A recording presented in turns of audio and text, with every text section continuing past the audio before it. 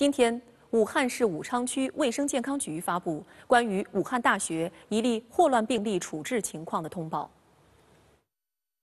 七月九号晚，武昌区疾控中心接医院报告，武汉大学出现一例感染性腹泻病例，以呕吐、腹泻为主，伴低热，血清学凝集试验为零幺三九阳性。经省市区三级疾控中心复核，该病例的血清学凝集试验为零幺三九阳性，诊断为霍乱，独立基因阴性。患者经有效诊治，病情已得到控制，症状已消失。